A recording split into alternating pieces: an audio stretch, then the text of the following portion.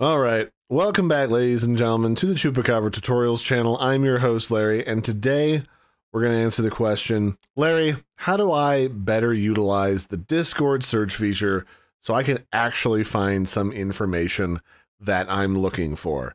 So, the simple answer is if you click on the search bar, the built in Discord search will actually tell you all the different stuff that you need to know in order to search for whatever you're looking for. So you can add all of these different modifiers from user, mentions the user, contains a link or an embedded file or something, or occurs at a specific date in order to find the information that you're looking for. And you can combine multiple ones of these different qualifiers to your search in order to find specific things. So, as an example, my buddy Lou likes to host a movie night on his server fairly regularly where he watches with his audience that watches him stream on Twitch various different movies. And let's say that I was trying to remember the name of a movie so I could recommend it to a friend of mine, but I don't remember, but I do know that my buddy was playing it in one of his movie nights. So the first thing I would do is say, well, it's from user, and then we're going to go uh, Lupus Etor. And then I will say, uh, well, what date was this in? Um, it was probably in this channel. So I can say in this channel. And we'll say the um, now playing channel. And then I want this to also be in a specific date.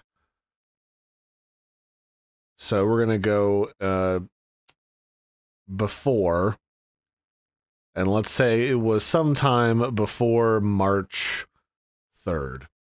And this will allow me to go through all the posts he's made in that specific channel, and I can look for it and say, oh, it was The Tiger's Apprentice. That's the movie I was trying to think of. Or maybe it was the arcade movie.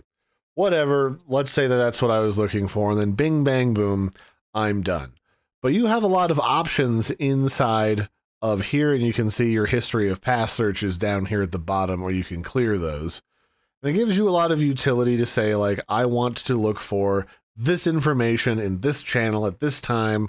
It might contain a link uh, or maybe it's a just a message that they've pinned. So i could say from my buddy again. And then we could go um, pinned.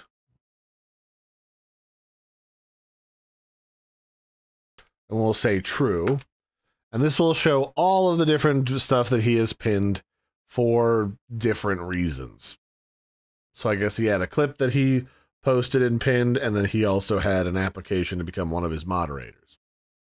So that's just a brief look at all of the different power that you have when using Discord search in order to find specific information that you're looking for. It's really straightforward. Their categories are it's from a user or it mentions a user, or you could do both. You can have it um, reference a link or an embedded image or file, and you can look on around specific dates, and then whether or not it's a pinned message. It really covers just about everything, and this also includes the ability to search for information inside of group chats that you might be in for direct messages if you're not in a server with someone, but you're in a group chat with them instead.